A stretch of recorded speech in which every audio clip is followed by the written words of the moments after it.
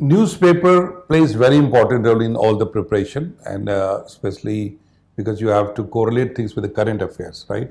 But for students normally it becomes difficult to find out what is relevant in newspaper and what is not relevant in that way. So with your experience what will you like to suggest how to read a newspaper so uh, yes, I feel that you're right. Uh, initially, I also used to find it very difficult to identify what is right or wrong, and I used to spend almost three hours on newspaper itself.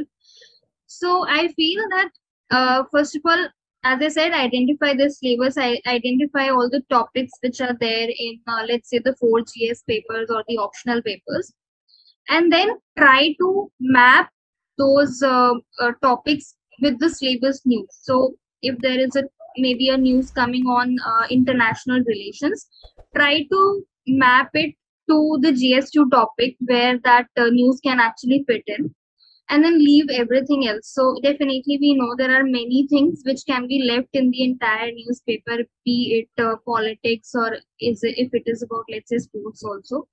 Uh, but there are some things which are very very important like the business section of the newspaper or the international relations section even science and tech for the prelims uh, part specifically or the data. So again we can look at very small things like collecting the data collecting uh, what is being said by different prominent people and that will help us to cover newspaper in less time and more comprehensively. So what comes from your communication is that the syllabus all the segments of syllabus if you are clear about it then you can correlate it well and identify what is relevant for and not relevant for you. But if you simply you are jumping into read newspaper to read like a common reader, it may not help you. So yes. keeping eye on the previous year questions and also on the syllabus, the phrases and the words which have been used in different segments that can help you a lot, right?